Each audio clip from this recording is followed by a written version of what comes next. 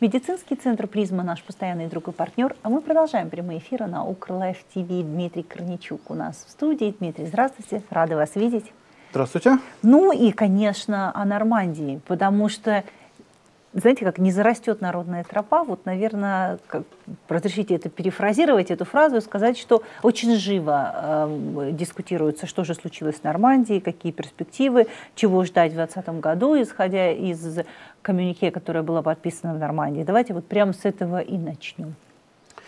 Да, ну, я так понимаю, что у нас уже, там, все уже отхвалили президента, какой он хороший, как он не сдал национальные интересы. Я даже скажу больше, президент уже отхвалил сам великий оппозиционер э, Порошенко и все парохоботы, которые сразу же э, после саммита свернули Майдан, рассказав о том, что в принципе никакой зрады в Нормандии не было, все в порядке, так что я думаю, что все, все патриотическое крыло страны должно было успокоиться, раз уж сам Петр Алексеевич сказал, что никакой зрады не было, значит, все в порядке. Но мы будем зраду находить, потому что на самом деле она есть, то есть все-таки нашли и, в Израду. И, да, э, причем ее немало, есть о чем э, поговорить. Ну, на, начнем с того, что э, все то, что вбрасывалось в информационное пространство в день проведения саммита, после дня, э, дня проведения саммита, то большое, огромное количество фейков со стороны команды э, Зеленского, там, со стороны там, всяких там, экспертов, которые с ними работают там, и прочих, э, было призвано создать некую виртуальную картинку э, того, что там, Владимир Александрович там, чуть ли не на равных с Путиным э, встречался, э, там, заглянул ему в глаза, как он обещал, там, вот, таким, знаете, тот на него посмотрел с должным уважением, потом они вот сидели вместе на пресс-конференции, там, вот, ну, короче, вот Зеленский не подкачал, молодец, национальные интересы не, не сдал и прочее, прочее. Ну, вот эта вот виртуальная картинка, которая э, создавалась, в этом помогала наша э, фейковая оппозиция в лице э, Порошенко, которая как я постоянно говорю, сотрудничает вместе с властью, потому что Зеленский и есть преемник Порошенко, поэтому тесная связка между Порошенко и там, Зеленским, Коломойским как была, так и э, остается. Э, то есть, грубо говоря, когда там, уже патриоты говорят о том, что там, Зеленский там, не сдал интересы, то вот все уже должны точно поверить, что все было нормально. Но э, и среди вот этих вот фейков, которые вбрасывали, в частности, самые смешные были от Авакова, о том, как Зеленский якобы делал какие-то замечания Лаврову за то, что тот э, кивал э, головой, э, потом как якобы бросался там чуть ли во время переговоров документами там истерично бросался Сурков и прочее, прочее. Но мы прекрасно понимаем, что э, э, я все ждал, что, может быть, они э, скажут, что Зеленский Путину сделал замечание во время переговоров, а потом же вспомнил, что поскольку все наши политики, вот эти все фейки вбрасывают с разрешения Москвы, то есть определенная субординация. То есть можно смеяться для общего дела над боярами, ну, там, над Лавровым, там, над Сурковым, ну, там, в рамках фейка, да, но нельзя трогать самого Владимира Владимировича, поскольку его авторитет должен быть э, неприкасаем. Но, а теперь э, по существу. Значит, э, ну, начнем с того, что э, большая часть тех договоренностей, которые, э, там, о которых говорилось и которые были заключены, они были согласованы еще начиная э, там, с момента прихода президента э, Зеленского к власти. Э, согласованы были еще в августе на встрече э, там, советников глав нормандской э, четверки, где в частности был, присутствовал, присутствовал тоже Сурков, э, присутствовал Пристайка. Там были согласованы шаги, и, скажем так, был выставлен тот ультиматум со стороны Путина, после, э, после которого вообще этот саммит мог состояться, в частности, разведение войск в трех точках и согласие Украины на формулу Штайнмайера. И я посто... и несмотря на то, что нам пытаются сказать, что формула Штейнмайера, да, это просто там ничего не значащая вещь. Это очень важный документ, это, ключ... э, это ключевое условие, которое надо было Путину. Потому что формула Штайнмайера предусматривает, что закон об особом статусе Донбасса вступает в действие в день проведения местных выборов на Донбассе, даже без подтверждения их демократичности.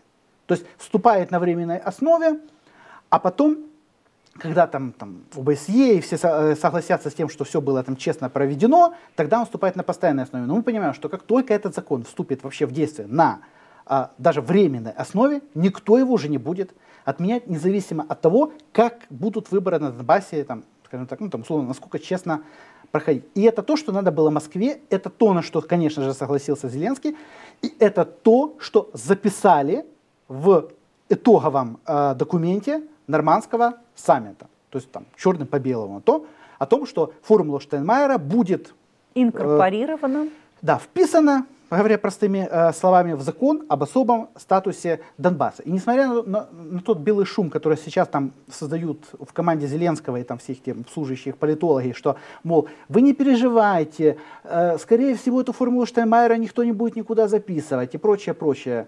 Э, если Путину надо, эта формула будет записана. Просто это будет сделано в прошлом году, а сейчас надо м, отвлечь внимание общественности от этого шага. Просто это будет сделано в следующем году. Ну, конечно. А вы сказали в прошлом. А, да, это будет, э, э, да, это будет сделано в следующем году, когда по поутихнут эмоции там, после проведенного саммита. То есть, то есть сейчас надо максимально м, замылить перед обществом то, что Зеленский полностью выполнил то, что хотел от него Путин.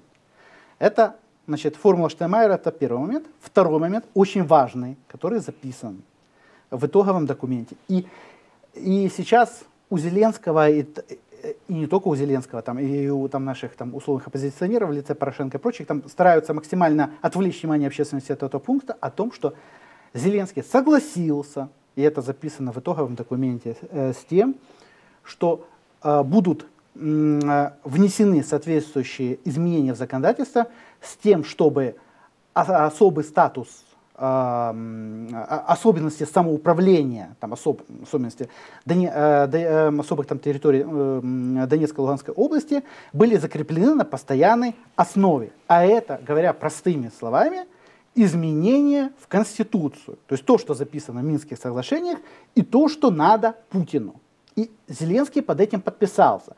Мало того, у Зеленского ничего умнее не придумали, как, ничего умнее не придумали, как попытаться это зашифровать э, э, э, тем, что неправильно перевели на украинский язык итоговый документ Нормандии. И прописали там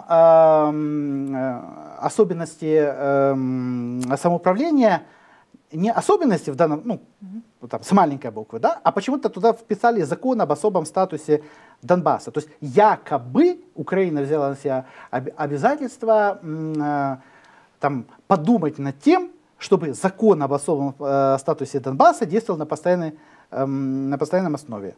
Но на самом деле там говорится об, об особом самоуправлении, не о законе, а о том, что в Конституции будет прописано. И уже, кстати, э, по этому поводу э, там, в Москве подняли шум, подключили товарищи с ЛДНР, которые сегодня выступили э, заявлением и сказали, что пока Украина не, э, не даст правильный перевод э, итогового документа, нормандской декларации, и не скажет, что там действительно речь идет об изменениях в Конституцию, никакого обмена пленными не будет, и никакого дальнейшего продвижения по Минску не будет. А, кстати, Россия дала правильный перевод или э, полный Конечно. перевод? Да? И там так и написано. Ну, естественно. Просто то есть и Зеленский знал... А может, Россия дала неправильный перевод, смотрите, а мы дали правильный перевод. И Зеленский знал, на что он соглашался. То есть все вот эти россказни о том, что Зеленский приехал, там, отстаивал позицию Украины. Ребята, значит, э, я всем говорю, если бы не были согласованы итоговые э, документы саммита еще за несколько месяцев, то никакой бы саммит не состоялся. И э, у того же Суркова говорили о том, что согласованный, ито, э, согласованный итоговый документ нормандского саммита. То есть все заранее знали, какие обязательства берет на себя Зеленский, что он подписывает и прочее, прочее, прочее. То есть никто там не писал вот эту бумажку по итогам двухчасовой встречи, там, ну там больше двух часов э, нормандской четверки. То есть никто там ничего не записывал.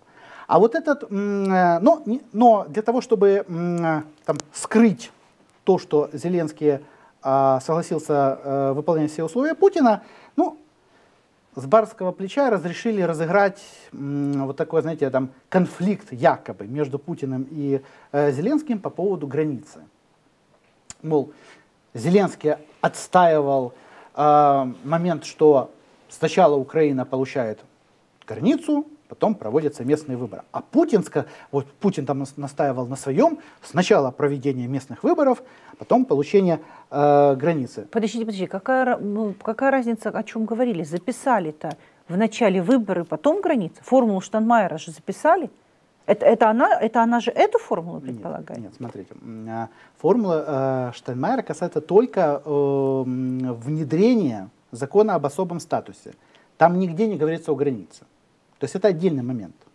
Но он записан в Минских соглашениях. В Минских соглашениях записано сначала проведение выборов, потом доступ к границе. И вот Зеленский там имитировал там, отстаивание позиции Украины, что вот, вот мы сначала хотим контроль э, за границей, а потом проведение выборов. Путин вот на пресс-конференции потом рассказывал, что нет, вот я, мол, уперся рогом, надо выполнять Минские соглашения, так как это все записано.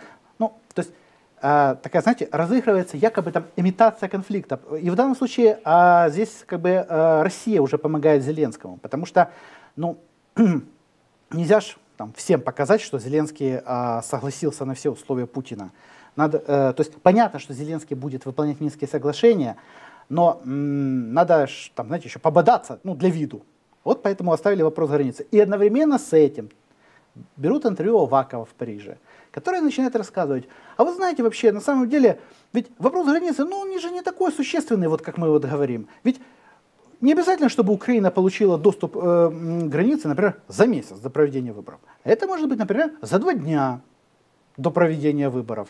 Но знаете, вот такое. То есть уже готовится общественное мнение, что не так важно, ну, то есть сначала выборы или доступ к границе или нет. Потому что, знаете, сначала будут говорить о том, ну, может, мы доступ к границе получим там за два дня, а потом, а может, вообще в день проведения э, выборов получим э, доступ к границе, а может, после проведения э, выборов, ну так как, собственно, и записано э, в Минских соглашениях. То есть, и плюс, также Аваков, э, когда мы говорим о безопасности, Аваков, когда у Авакова спросили, а как вот будет контролироваться безопасность проведения выборов, Аваков говорит, ну как, ну вот зайдут туда, зайдет туда украинская полиция, и вместе с представителями там вот народно, как я сказал, территориальных общин, проще говоря, там, народной милиции, будет вот патрулировать территорию, чтобы все было честно, хорошо. Ну а что такое народная милиция? А народная милиция это все те же там, ну как бы там, первый, второй армейский корпус ЛДНР, ну, который там находится, ну они там поменяют там, нашивки э, на народную милицию.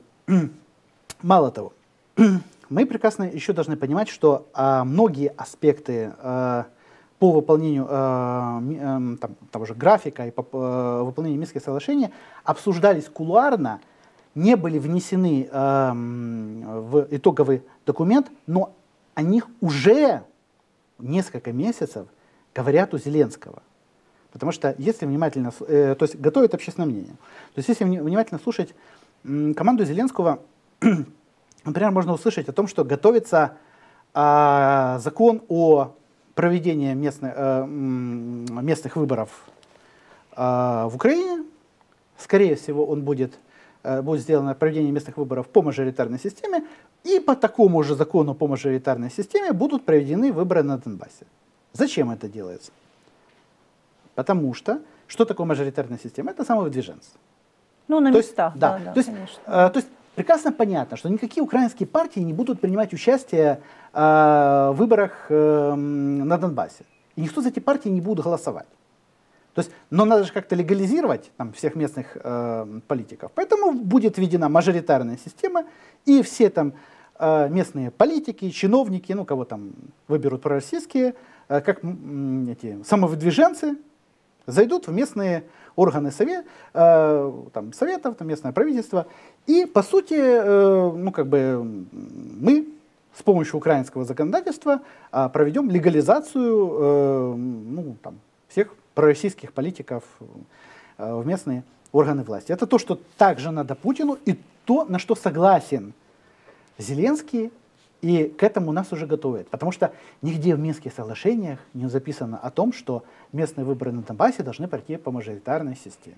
То есть это наше ноу-хау, я думаю, согласованное с Кремлем, которому нас готовят. Дальше, перед поездкой в Минск, Зеленский, выступая э, там у Шустера, куда он ходил, э, рассказывал о том, что Скорее всего, местные выборы на Донбассе пройдут осенью 2020 года одновременно со всеми местными Совсем, выборами да, по стране. Зачем это делать одновременно? Для того, чтобы скажем так, сбить фокус внимания к этим выборам на Донбассе, ну, чтобы, грубо говоря, все украинцы были заняты своими местными выборами и особо не следили за тем, что будет э, проходить на Донбассе, какие политики туда будут выдвигаться, как будут проходить выборы. То есть, опять же, понятно, что э, все это согласовано э, с Кремлем. Дальше. Э, в команде Зеленского рассказывают о том, что мы готовим изменения в Конституцию. А Формально они будут называться изменения в Конституцию о децентрализации. То есть мы будем децентрализировать. И там так вот, рассказывая про эту децентрализацию, так, знаете, так осторожно говорят, ну и вот э, там мы вот будем э, децентрализировать, э, вот там мы впишем децентрализацию э, Донбасса. То есть что значит децентрализация Донбасса? Это особый статус Донбасса, то есть то, что надо а Путину будет вписано в Конституцию, ну, по сути, это и будет как бы, вот, начало федерализации, ну, о которой мы постоянно говорим. Поэтому на нормандской встрече ничего не решалось. То есть сразу после прихода Зеленского к власти шли тесные консультации между Киевом и Москвой, были достигнуты договоренности, а я думаю, что, в принципе, они, скорее всего, были еще и до выборов достигнуты через те каналы коммуникации, которые есть. И Зеленский в рамках этих договоренностей, ведь не зря было там несколько телефонных разговоров с Путиным, полностью двигается э, в русле выполнения э, Минских, э, Минских соглашений. Но это происходит, у нас там, знаете, велика зрада, но эту же зраду надо как-то э, прикрывать. Вот как эту зраду, ну, ну для кого-то зрада, для кого-то не зрада, ну там условно, да, за выполнение Минских соглашений. Вот тут на арену выходят наши псевдопозиционеры. Вот такие вот, как Петр Алексеевич Порошенко, которые, повторюсь, находятся в тесном контакте там, с Коломойским, с Зеленским, я думаю, с нашими э, кремлевскими товарищами, которые ему, э, э, для которых он эти Минские соглашения подписывал, а после этого ему разрешили тут еще и в Украине оставаться играть оппозицию. Соответственно, что, как, как вот эту зраду надо было прикрыть? Собрать Порошенко Майдан, а нет, сначала написать очень э, такой важный документ ни о чем под названием «Красные линии». Я его, знаете, несколько раз перечитывал и э, вот все пытался, я себе подумал, вот даже, я не знаю, вот даже если э, вот там на, на телекамеры а, там вот э, э Зеленский там целовался, знаете, там с, с, с Путиным там, в, в обе щеки и рассказывал о том, что готов выполнить соглашение, все равно бы это было, не было бы нарушения тех красных линий, которые записаны э, в той бумажке, которые э, там придумали у Порошенко. Потому что э, знаете, более размытые э, понятия, ну то есть специально были придуманы некие размытые понятия, которые Зеленский э, не мог нарушить. Ну, например, там, там нет э, прекращению там, нашего евроинтеграционного там, и э, евроатлантического движения. То есть вот, вот я себе пытался представить, как вот э, должен был, э, что Зеленский должен был сделать на этом нормандском саммите для того, чтобы прекратить это движение. Ну, не знаю, там выйти, ну, выйти на пресс-конференцию с Путиным и сказать, мы с Владимиром Владимировичем э, посовещали и решили, что Украина в НАТО не пойдет. О, вот это была бы перейдена красная линия. А так, видите, э, по итогу э, по, итогу, э, по итоговой декларации сразу же у Порошенко сказали, нет, Нормально, красной линии, никто красной линии не перешел, сворачиваем э, быстро Майдан, ну и по сути вот они провели вот эту вот для там, ну грубо говоря, такой националистически настроенной части Украины, провели легализацию вот этой великой зрады, которую провел Зеленский. Потому что, ну раз уж патриоты, вот эти вот, которые там стояли под администрацией президента, сказали, что зрады нет, ну, тогда зрады точно нет. Ну, патриоты же не обманут. И Петр Алексеевич тоже, как главный патриот и борец против э, России, не обманут. То есть все идет по согласованному сценарию. Э, сценарию. Перед нами разыгрывают балаган. А, а, дальше. А, сейчас распространяют информацию о том, что Зеленский э, отстаивал вопросы Крыма. Э, я, я, знаете, и, это много, кстати, э, многие об этом э, пишут, вот это, создают виртуальную реальность, что Зеленский не подкачал, он из-за грани... И по поводу границы с, там, с Россией в Минских соглашениях говорил. И, и вопросу Крыма, вопрос Крыма отстаивал. Я не знаю, где он отставил вопросы Крыма, потому что когда он давал брифинг э, после нормандской встречи, у него спросили по поводу э, э, Крыма, подал этот, он этот вопрос, Зеленский начал там ерзать и говорить, мне не хватило времени. Понятно, что не хватило времени, потому что если поднимешь перед Путиным вопрос Крыма, так можно еще и по шапке получить, и там на рояле играть в итоге заставят. Потому что нельзя эти вопросы на самом деле поднимать. И понятно, что э, согласовано с Москвой, что Украина не поднимает вопрос Крыма, потому что Крым будет российским. И Зеленскому этот вопрос поднимать нельзя. Ну, разве что тут у нас на телеэфирах э, рассказывать басни. Но на совместной пресс-конференции с Путиным в Париже нельзя говорить там про российского агрессора. Это запрещено. Там, про Крым нельзя говорить.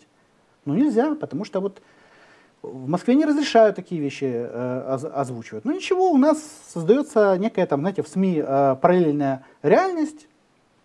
Владимир Александрович поехал, ничего не сдал, не подкачал, молодец. Он, конечно, не, вообще, конечно, просто защитил национальные интересы. Вот вы только главное обратите внимание, как на следующий же день после, после нормандского а, саммита сразу же в парламенте зарегистрировали а, законопроект о продлении закона об особом статусе Донбасса до конца 2020 года. Ну, потому что, как бы, если ты берешь обязательства э, перед Путиным, то тут не балуются. Тут надо бежать и выполнять даже вот знаете, бежать, вот там, как-то там Корниенко, Рахамия, там, я не знаю, как они там, выпущив глаза, мчались регистрировать этот законопроект, и в четверг они его будут принимать.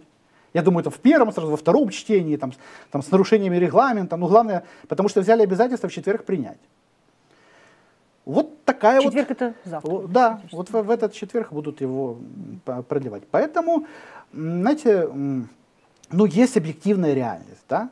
Да, Зеленский выполняет все, что надо Путину. Плюс газовый вопрос. Мы же прекрасно понимаем, что когда на встречу Зеленского с Путиным там, приглашаются э, Миллер, там, мит, э, там, Новак, министр энергетики России, и с нашей стороны там тоже соответствующие лица, а после этого выходят и рассказывают, мы договорились договариваться, ну это, ну это басни пускай рассказывают, знаете, там, детям. То есть никто а, не собирает эти встречи, если а, не собирают эту встречу, если заранее все не договорено. То есть там просто ударили по рукам. То есть, грубо говоря, на этой встрече Путин согласился, ну там, осветил собой тот вариант газового транзитного контракта, который будет, и, скорее всего, тот вариант э, нового, я так понимаю, контракта по закупке российского газа со стороны Украины. Ну, никто ж, ну, ну нельзя же после этого выйти на пресс-конференции и честно об этом рассказать. Поэтому они нам рассказали о том, что а, мы договорились о том, что мы вместе с нашими европейскими партнерами потом соберемся э, в Вене и будем обсуждать. На самом деле все уже обсуждено и договорено, и подписать надо где-нибудь там ну, 30 или 31 э, декабря, ну, когда уже новогодние праздники, когда украинцы уже заняты там, знаете, подготовкой к новогоднему э, столу, то есть им сейчас, ну, им там не, не до зрады, там, знаете, там не, не до таких высоких материй. Вот самое время для подписания э, э, нового газового контракта. Поэтому, ну, я, я не знаю, ну, все идет по российскому сценарию. А все идет по российскому сценарию в рамках все той же большой сделки, о которой я говорю там, с 2017 года. Интересно, это вы, сейчас, вы сейчас в игру ввели Соединенные Штаты Америки так? Так лег, легко так. Ну, потому что по, э, в рамках большой сделки Украина полностью отходит Путину. И все, что происходит э, в Украине, все идет по российскому сценарию. Поэтому Соединенные Штаты не вмешивались в президентские выборы, которые про проходили, а постоянно заявляют о том, что выполнение Минских соглашений – это там, величайшее благо человечества – и мы поддерживаем Украину для выполнения Минских, ну, Минских соглашений. Минские соглашения это хорошо. Трамп говорил, помните на встрече с э, Зеленским о том, что вот вам с Володей надо договариваться. Ну так отлично. Ну, пошли с Володей.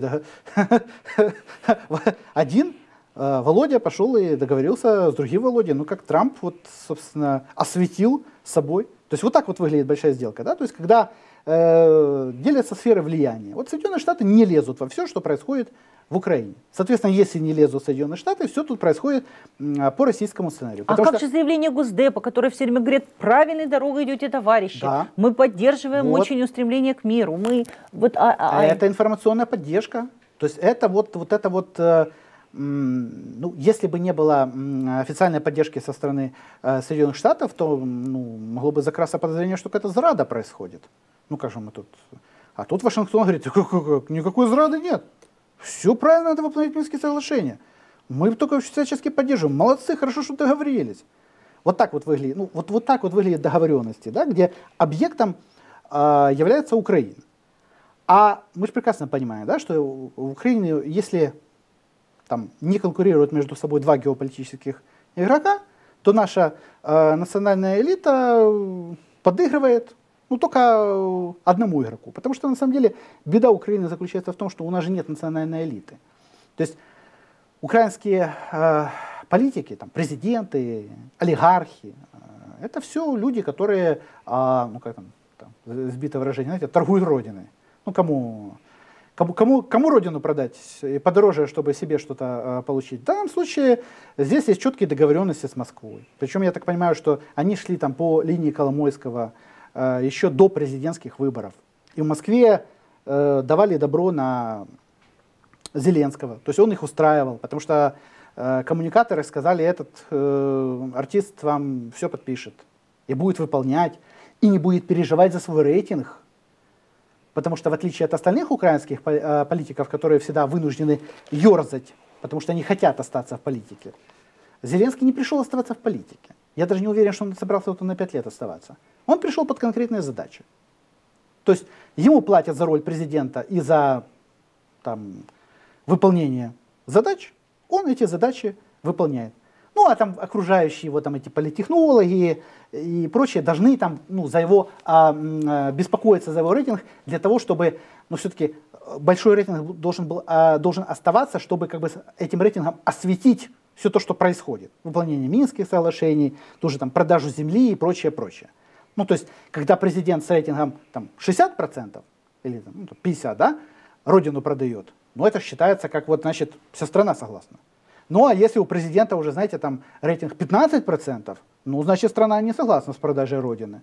Поэтому надо поддерживать вот этот вот его э, высокий рейтинг. Но э, Зеленский не переживает.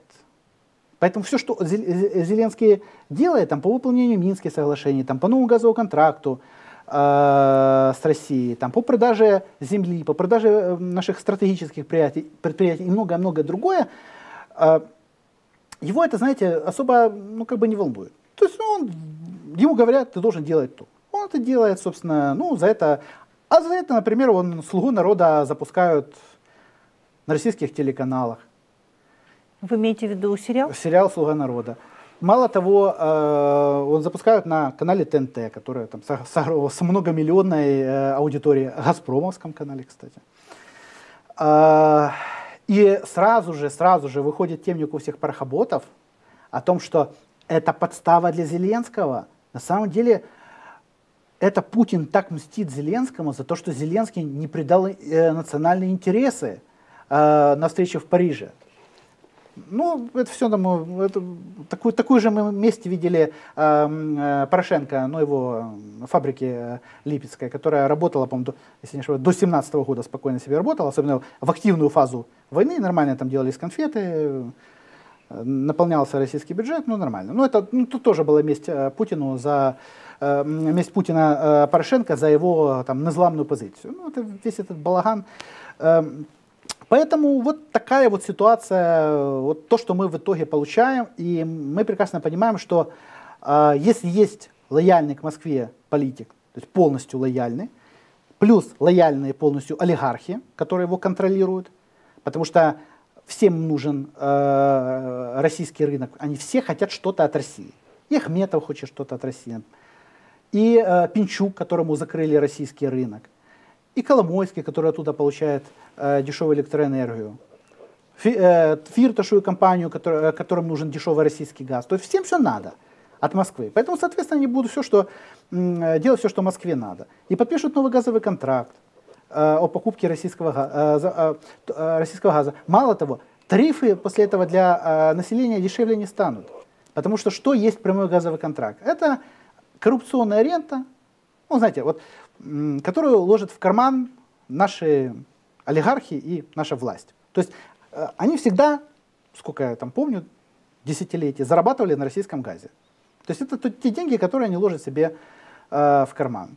Ну да, это такая взятка. Вот, вы у себя тут э, будете этим. Но никто не будет э, снижать тарифы для населения. Поэтому, знаете, когда нам рассказывают, как хорошо, что будет новый газовый контракт с Россией, сразу же тарифы снизят. Не будет никто снижать тарифы, мы должны это понимать. Потому что на этом зарабатывают наши олигархи. И Зеленский не пришел снижать нам э, тарифы. Нет, Зеленский нам, конечно, рассказал, что следующей зимой, следующей, тарифы будут ниже в два раза.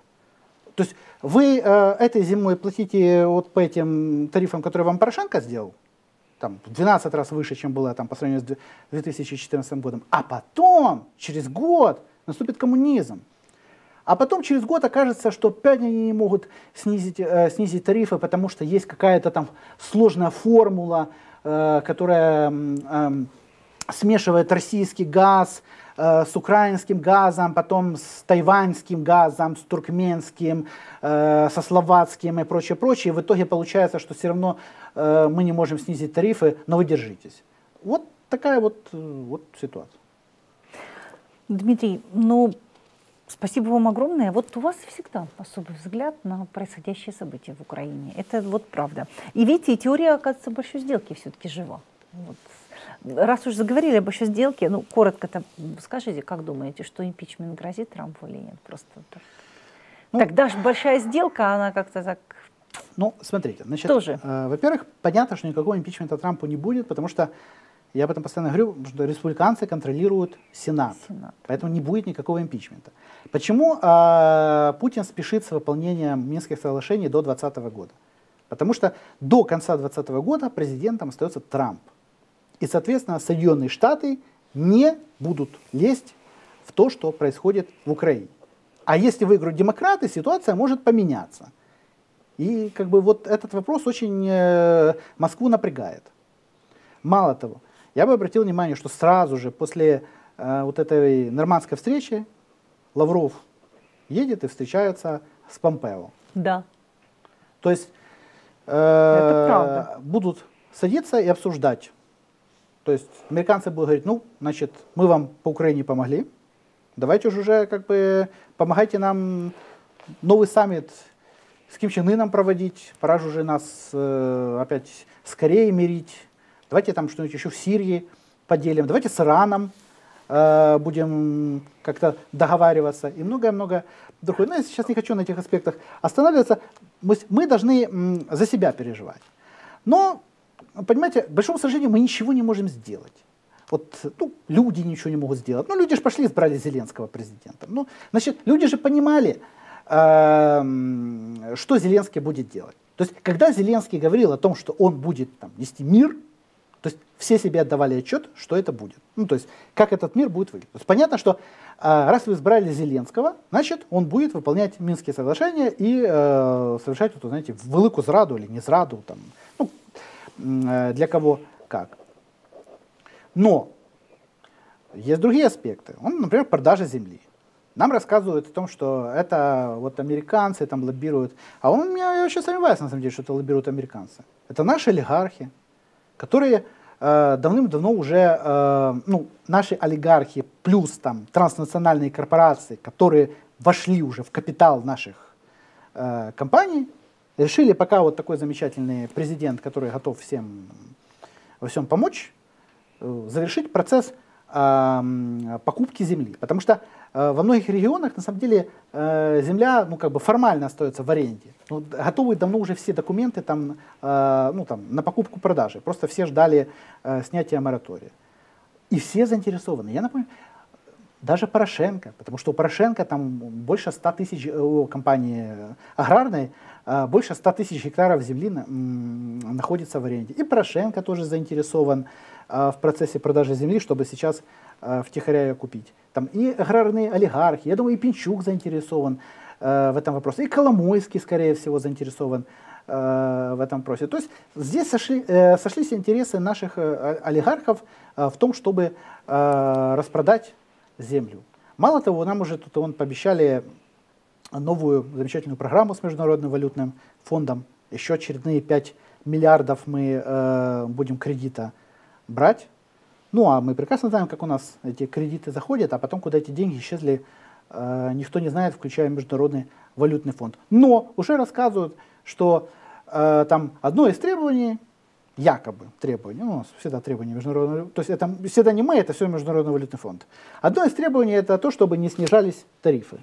То есть это то, о чем я говорю. Когда мы заключим э, контракт там, о прямых покупках э, российского газа, который все дешевле будет заходить, и наши олигархи там на свои промышленные предприятия э, будут этот газ брать, э, когда население скажет, а где же э, снижение тарифов, скажет, ну посмотрите, ну Путин же сделал все, что мог, он же дал дешевый газ, видите, какой хороший человек, а Международный валютный фонд и рука Сороса, и нога Сороса, там, уши Сороса и прочее – вот выставили нам требования, что мы не можем снижать тарифы. То есть разыгрывается вот это, знаете, э, между собойчик. Поэтому, эм, что я хочу сказать, что на самом деле все, что идет э, в Украине, и при президенте Порошенко, и при его сейчас э, ставленники, там, правонаступники, наследники Зеленском, все идет по российскому сценарию. Но это все становится возможно благодаря нам, украинцам, потому что мы избираем этих людей. Мы избрали президентом Порошенко в первом туре. Мы бежали, э, голосовали за Зеленского в каких-то мифических надеждах, хотя ну, здраво мне было понятно, что это не самостоятельный э, как бы игрок, за ним стоит Э, Коломойский, ему подыгрывает власти, и понятно, что он будет делать то, что надо олигархов, олигархам. Ну, да, провели хорошие политтехнологии, люди на эти политтехнологии повелись, э, проголосовали. Потом на парламентских выборах проголосовали, дали еще э, монокоалицию э, «Слуги народа». Поэтому, знаете, с одной стороны, у нас все идет по российским сценариям, которые здесь э, реализовывают олигархи наша э, национальная элита, потому что я их не считаю элитой этих людей – они для меня вообще все люди никто. То есть я их не считаю политиками. Ну какой политик? Ну давайте вспомним, кто был такой Порошенко до э, выборов э, ну, президентских который мечтал, там, знаете, стать мэром Киева. Ну, он много кем был. Он был и министром иностранных дел, и министром да. там, экономики, но, смотрите, и главой РНБО. Да, но на уровне тех а, политических фигур, которые были в то время, он был во втором там, или третьем эшелоне. Точно так же мы можем... Э... Кто-то нам звонит прямо в прямой эфир практически. Но мы их, но мы их, оста, но мы их остановим и сможем, сможем договориться. Да, да, да. Да. А, да а, или кто такой Зеленский? Ну, ну какой с него политик? То есть понятно было, что это полностью зависимый человек, который не будет отстаивать национальные интересы, и он ничего не обещал на самом деле на президентских выборах. Поэтому а, мы за этих политиков голосовали, и мы все несем ответственность за то, что они будут делать, потому что не Трамп и не Путин в, там, вбрасывали бюллетени в избирательные м, участки. Поэтому мы сделали такой выбор, и мы за него должны нести ответственность. Дмитрий, спасибо вам огромное. Спасибо, что вы были гостем нашего прямого эфира. Мы были очень рады вас видеть. Спасибо вам большое. Дмитрий Корничук был сегодня у нас в гостях, за что мы ему очень благодарны. А вы оставайтесь с нами, мы продолжаем наши прямые эфиры. И, конечно, наш партнер – медицинский центр «Призма». Спасибо.